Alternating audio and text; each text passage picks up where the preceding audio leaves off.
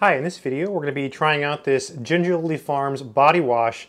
So this is a brand that I always use for body wash, for dish soap, and for hand soap, and also for conditioner. Um, it's a great brand. I like this because it doesn't cause me any problems. I have very, very sensitive skin, so if I use a certain laundry detergents or certain soaps, my skin gets itchy. Uh, certain soaps give me mild eczema between my fingers, and it took me years to figure that out. It took me forever to figure it out, but this is a product I can use, and so I always buy this product. Now, this is a scent that I have not tried. Uh, this is the citrus scent, so I haven't tried this. It's 100% vegan, it says.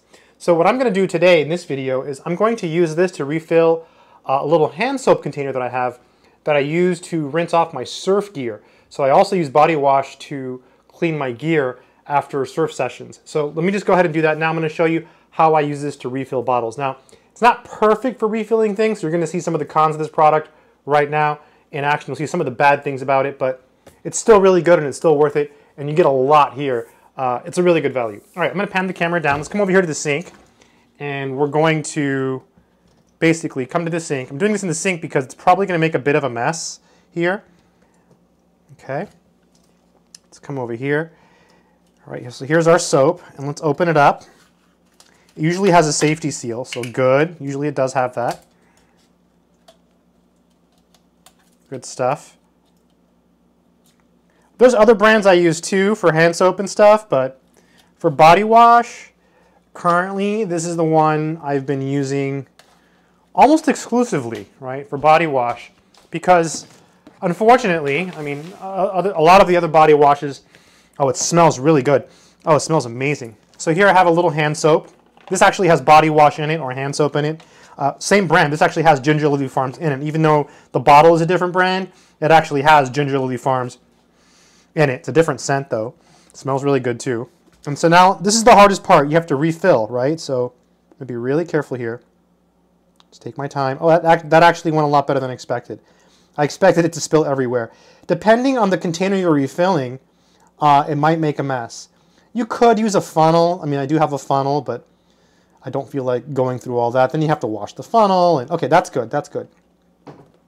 Very good. Now I take this, and I take this outside, and, I, and when I come in from surfing, I, I, I have a big garbage can, and I fill it with water, and I squirt some of this stuff in the garbage can, and then I rinse my wetsuit. So it's a way to rinse my um, stuff, my gear, after surfing.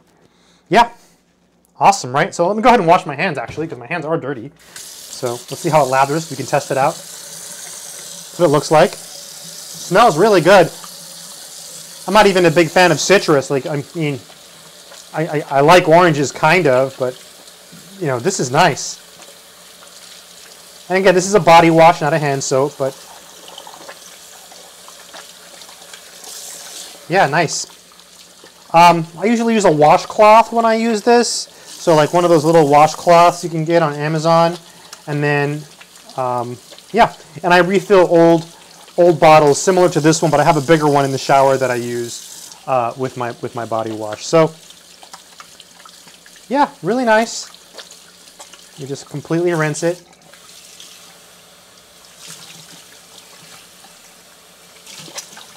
All right. And I would say it doesn't dry your skin. Um, so if you're, if you're wondering, does it dry your skin out, stuff like that? No. Uh, certainly not. It's, it's, a very gentle soap. It's a very good quality soap. Um, uh, it's nothing negative to say about the brand. The only, oh, actually, the only negative thing I can say, if, if you know, if, if, if, I'm really looking for something negative to say about this, um, it would be just that it's difficult to refill.